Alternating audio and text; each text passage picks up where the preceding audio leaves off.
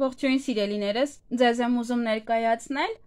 նոյեմբեր ամսվա լուսնային բարենպաստ եւ անբարենպաստ օրերը ժամադրության եւ ծանոթության համար։ Մենք բոլորս իհարկե ցանկանում ենք ծանոթանալ առավել եւս ժամադրվել։ Դրա համար կարող եք նայել, որ օրն է ավելի բարենպաստ ձեզ համար։ Բարենպաստ օրերը արդեն իսկ ավարտվել են։ Լուսնային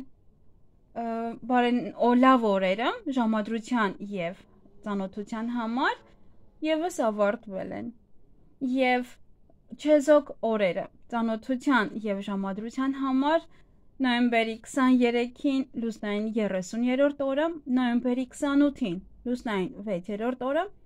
նոյեմբերի 29-ին լուսնային 7-րդ օրը եւ նոյեմբերի 30-ին լուսնային 8-րդ օրը։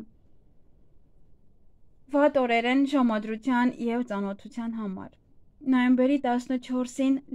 լուսնային 21-րդ օրը, նոյեմբերի 15-ին լուսնային 22-րդ օրը, նոյեմբերի 16-ին լուսնային 23-րդ օրը, նոյեմբերի 20-ին լուսնային 27-րդ օրը, նոյեմբերի 21-ին լուսնային 28-րդ օրը,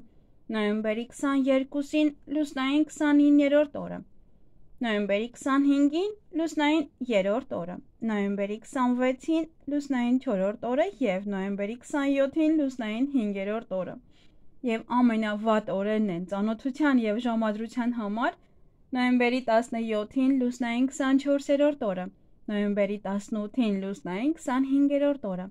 նոյեմբերի 19-ին լուսնային 26-րդ օրը եւ նոյեմբերի 24-ին լուսնային 2-րդ օրը